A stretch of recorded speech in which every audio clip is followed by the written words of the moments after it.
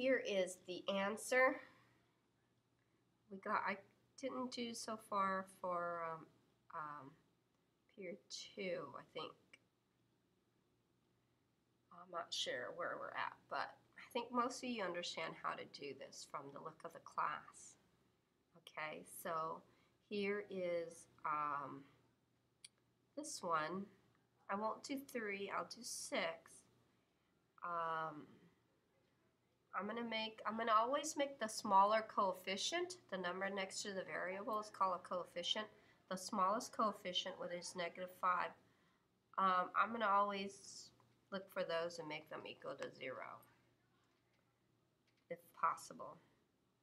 That has worked um, good for me so far, so it doesn't really matter which one you make zero here, really. Let me, let me do to the top then, so I don't have to rewrite. So I get positive 5x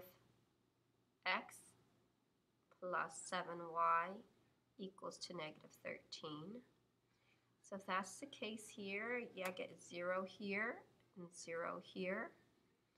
And 8 and 13 is not 0. So 0, well 0 plus 0 is 0, 0 plus 0 is 0 equals to um, 13 minus, that's negative 5.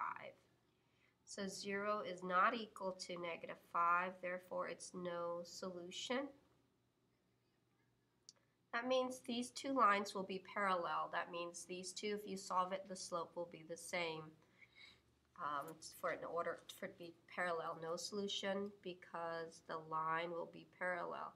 Um, no solution, this means means the two graph,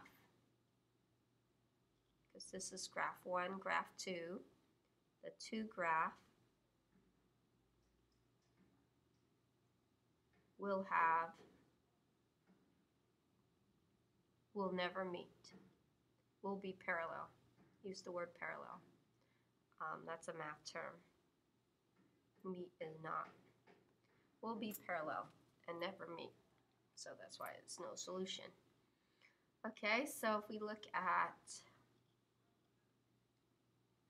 let's see, I think you guys know how to do this. Make the three, the y, eliminate the y. Um, I believe you know how to do this too. You're going to use substitution. You use elimination because both are in standard form. I forgot to do that.